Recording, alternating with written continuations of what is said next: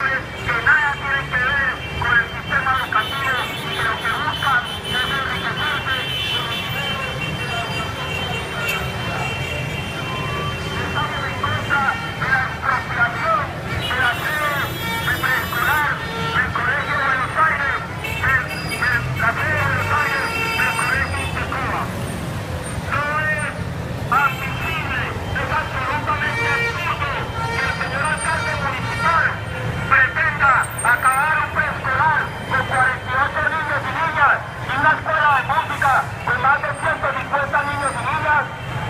un edificio de apartamento para los amigos y amigas del alcalde.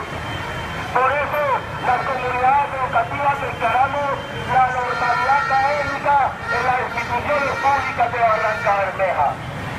Por eso